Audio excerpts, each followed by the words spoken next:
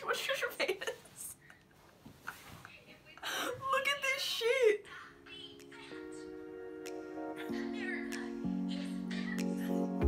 She's going crazy.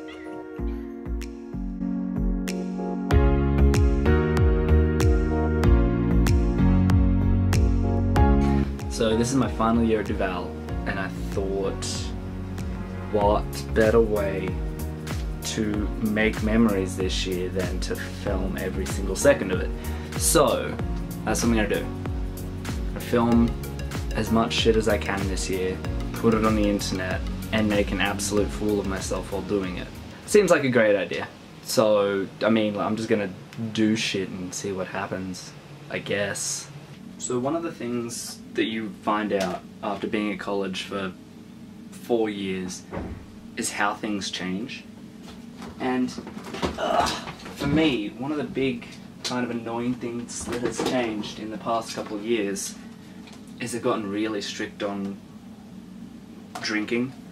And by that I mean like copious amounts of drinking. Like this bad boy here, you're not allowed at college anymore.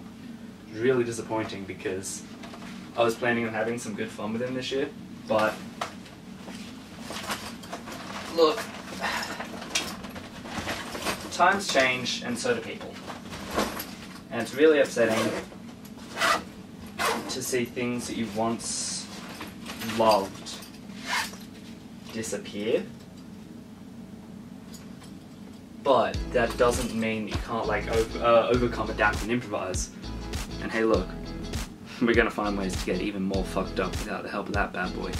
It's hoping that stays. One of the hardest things about change is realizing that, I mean, obviously things will never be the same way.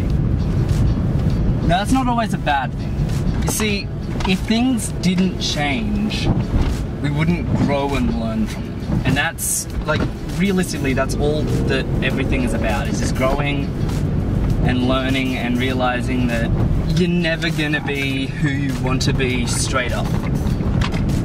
It's always gonna take time. And although it may suck at the time, it may suck at the time realizing that what you once had, you don't have anymore, or even though you still have it, it's not the same, and things are always, like, things is different. I lost my train of thought halfway through that, so I don't know where I'm going with this anymore. I don't know. All I know is, is change is good most of the time. Sometimes it sucks in the moment, but then you take a step back, look at it from a bigger picture, and you realize that things are ultimately better. And that's a hard thing to come to, uh, come to terms with. Probably the number one annoying thing about change is that you don't see it coming.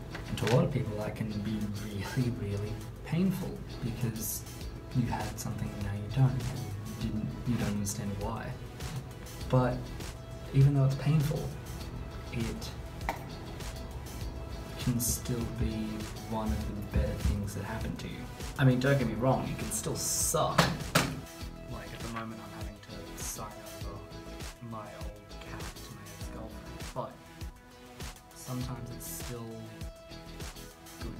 to happen because you know maybe at the time it looks like it's gonna suck, but it's probably gonna be better for you in the long run.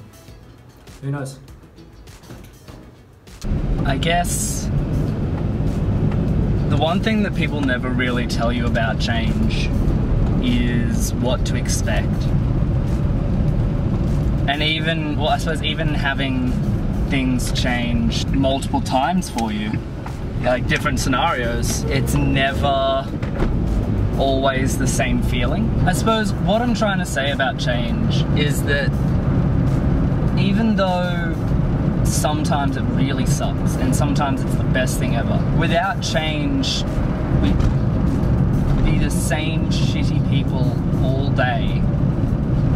And never learn or grow or be, we wouldn't be human. And I feel like being human, I mean, besides hu- being human is who we are, I guess if we weren't human, we'd have no fun. And I guess that's what life is all about having fun.